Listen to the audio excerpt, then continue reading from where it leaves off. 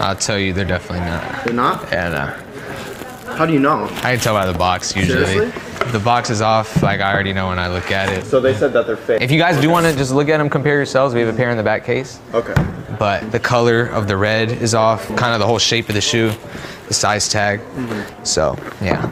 You guys, you guys have the first Chicago's out? Yeah, they, they, should have one in the back display case. If you want to go check them out. Oh, How are you today, man? Cool? Chilling? Chilling? Welcome in. What you got? What's up? What's up with y'all? Chilling?